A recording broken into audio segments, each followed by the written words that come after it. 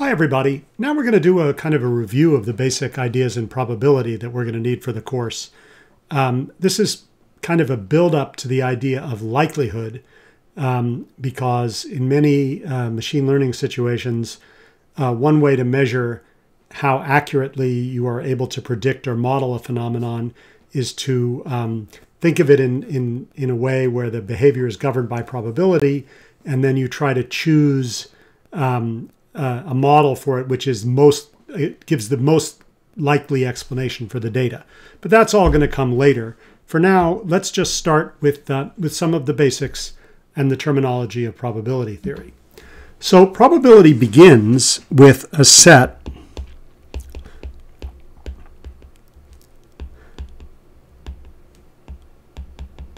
um, called a sample space. I'll draw a picture of it. Here it is. This is X, and X is called a sample space. And the idea that you should think of is that X, we're doing an experiment, and X is the collection of all possible results of our experiment. And in fact, the, you can think of the elements of X, possible elements of X, are called outcomes. And an event is a subset U of our sample space X. So it's a collection of outcomes. And we have, together with the sample space, we have a function P, a probability function,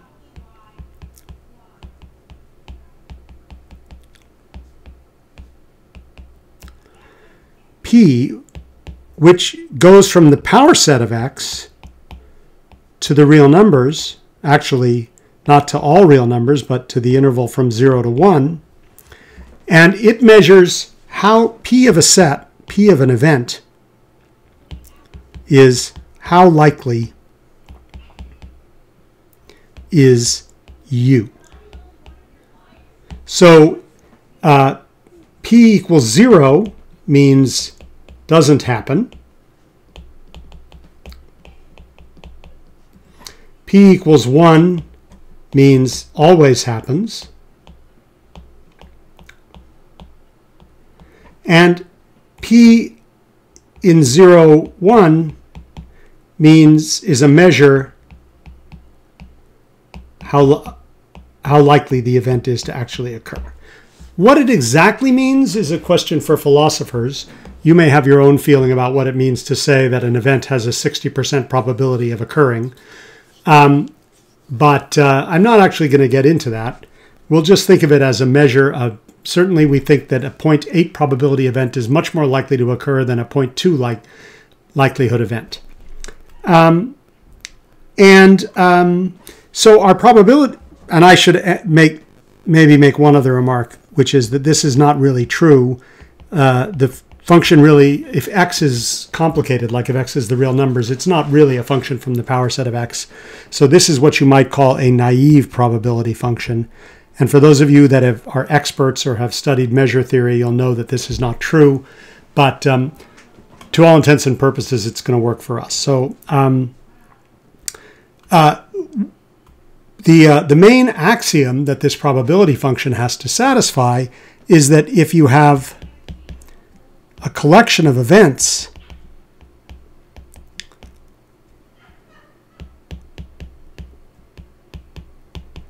which are disjoint, meaning that they, they're di completely different outcomes, then the probability that one of those things occurs is the sum of the probability that each of them occurs separately. And so to make this more concrete, we can look at a few sort of classic examples. So the first example is coin flipping. And the, um, the sample space consists of two things, heads and tails. And the probability function, the, there's only four events. The empty set, heads, tails, or heads or tails. And we know that the probability of this is zero and the probability of this is one, uh, because those are actually axioms, I should say, that the probability of the entire sample space is 1, that means some event is always likely to occur. And the probability of the empty set is 0, that means the chance that nothing happens is 0. And here, so this is P, here's U, and here's P of U. Uh, probability of the empty set is 0. The probability of heads we'll call P. The probability of tails has to be 1 minus P. And um, the probability of heads and tail or tails is 1. This relationship is forced by the fact that since heads and tails are disjoint and their union is the whole set, their probabilities have to sum to 1. And uh, a fair coin situation is the situation, of course, where P would be 1 half. Uh, another example might be X is the set of rolls of two dice.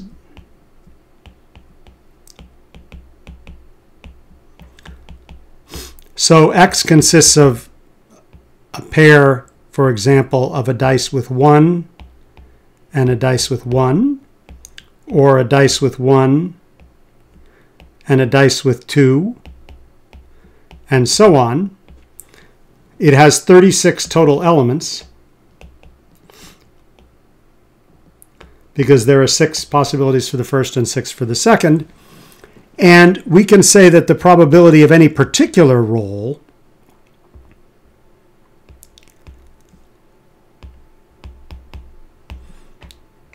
is all the same.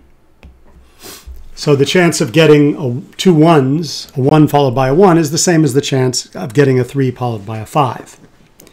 Um, but then we could also ask, what is the probability that the sum, and of course this maybe this point here is fine because now since there are 36 total elements, if you sum up the probability of all the possible events, you sum 1 over 36 36 times and you get 1. Now, what about the probability that the sum of the dice is 5? Well, to get a sum of 5, you would have to roll a 1 and a 4, a 2 and a 3, a 3 and a 2, or a 4 and a 1. So the, that, the event that you're interested in looks like this. That's the subset of the sample space. And the probability of that event is 4 out of 36, or 1 ninth. Um, now, uh, this is when you're dealing with finite sets of out, finite sample spaces, and you're dealing with, then, then probability theory is very closely related to combinatorics, and the question is about sums and, and things like that. Um, but there's a more uh, sophisticated idea, which is as I'm where your sample space is um, a continuous set like the real numbers. So let's consider the following experiment situation experiment. X is the real numbers. Uh, so the sample space, uh, a measurement is a real number. So you could think of this as we measure the temperature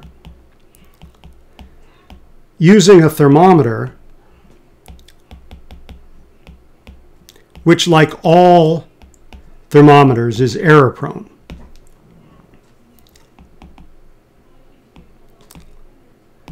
So the true temperature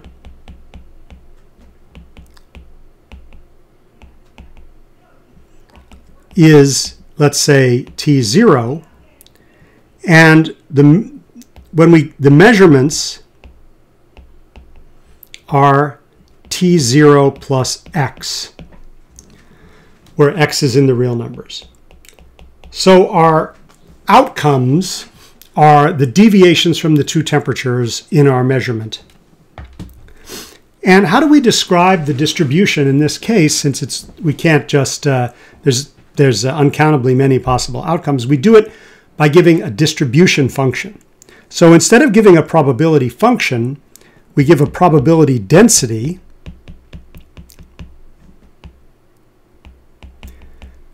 which is a function on the real numbers. And then we define the probability of the event u, where u is a subset now of our, of our um, sample space, so U is an event, the probability of U is the integral over that set U of the probability density. And you can think about this, this, this is the chance that our measurement lands in U. And so if U is an interval, let's say it's the interval from minus delta to delta for some delta not equal to zero, then the probability of u is the integral from minus delta to delta of p of x dx. And probably the most famous and important probability density uh, is the normal distribution. And it's defined by the following formula. P sigma of x is 1 over sigma times the square root of 2 pi times, uh, sorry, no integral sign, times e to the minus x squared over 2 sigma squared. And here sigma is a parameter called the standard deviation. And um, if you graph this function, I'm sure you've seen it before, you get a bell curve type shape. And how pointy it is depends on sigma. If, um, if sigma is um, large, then the curve is sort of spread out. And if sigma is small, then it's very spiky.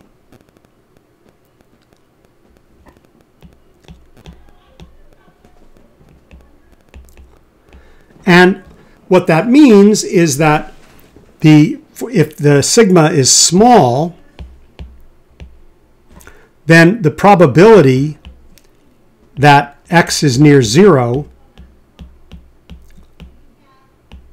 is large because the integral, if here's the picture for sigma small, the chance that you that x is near 0 is this big area, whereas if sigma is large and the curve goes something like this, then um, the chance that you're close to the origin is a much smaller percentage of the total area. And of course, the reason, whoops, the reason for this uh, 1 over square root of 2 pi, 1 over sigma square root of 2 pi in the front, is to make sure that the axiom is satisfied that p of x is 1, p of r, which is the integral from minus infinity to infinity of p of x dx, is actually equal to 1. And that's where that normalizing constant comes from. So um, it would be very typical to, if we were making measurements, if we were making uh, temperature measurements using a thermometer, it would be very typical for our uh, results to be distributed around the true the true um, value. So the error would be sort of clustered near zero, and the variance of our results or the standard deviation of our results uh, would tell us how good our thermometer is. If the standard deviation is small, so that the value, so that you're much more likely to be near zero, that means the errors tend to be small. And if uh, the standard deviation is big, it means that your errors are spread out all over the place. So um, that's our very basic look at um, discrete and continuous probability. And we're going to move on from here to talk about um, some other features of this theory.